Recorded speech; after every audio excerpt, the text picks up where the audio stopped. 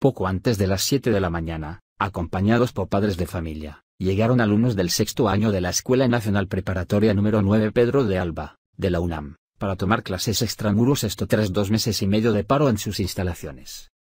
A las 7.38 de la mañana comenzó el ingreso de los alumnos a la sede alterna, el Colegio Latinoamericano de México, en Santa María la Ribera, Alcaldía Cuauhtémoc, la cual está blindada por 22 elementos femeniles de la Unidad de Policía Metropolitana Oriente además de una decena de elementos de seguridad privada del propio colegio.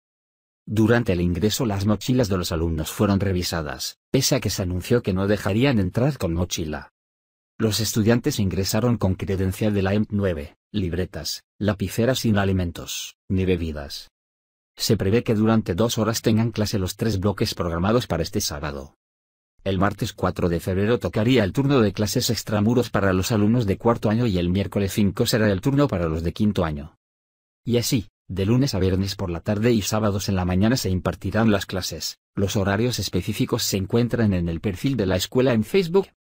La Prepa 9 está en paro desde el 12 de noviembre del 2019 para exigir a las autoridades educativas un alto al acoso sexual y violencia de género en las aulas.